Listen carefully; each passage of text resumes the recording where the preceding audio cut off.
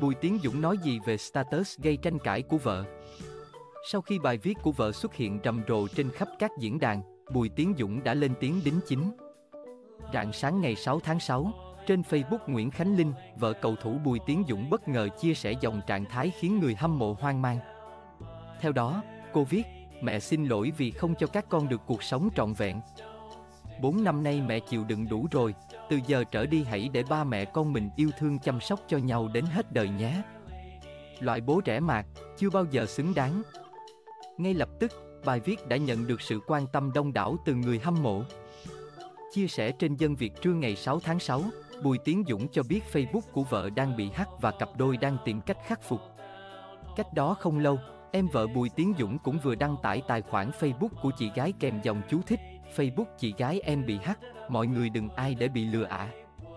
Cho đến hiện tại, status nói Bùi Tiến Dũng là loại bố rẻ mạt, chưa bao giờ xứng đáng của vợ nam cầu thủ vẫn còn xuất hiện trên trang cá nhân và được dân tình bàn tán khắp cõi mạng. Nguyễn Khánh Linh được biết đến là tiểu thư khi sinh ra trong một gia đình khá giả ở Bắc Ninh. Cặp đôi đang có cuộc sống hạnh phúc với hai cô con gái là Sushi và Mochi. Chia sẻ về cuộc sống hôn nhân, Bùi Tiến Dũng từng bộc bạch tâm sự, nhiều người bảo tôi lấy vợ giàu, chuột sa chỉnh gạo nhưng nói thật, vợ chồng gặp nhau là cái duyên. Có hợp nhau, lấy nhau không là một chặng đường rất dài nữa. Vật chất sẽ chẳng là gì nếu hai người suốt ngày cãi vã, cuộc sống lúc ấy mệt mỏi lắm. Tôi khẳng định vợ tôi không phải tiểu thư đại cát. Linh có thể làm được tất cả mọi việc từ nội trợ, chăm con, kinh doanh.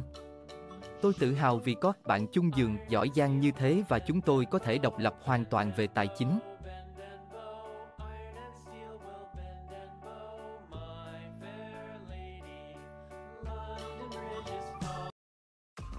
Cảm ơn các bạn đã theo dõi video, đừng quên nhấn đăng ký để ủng hộ đội ngũ kênh.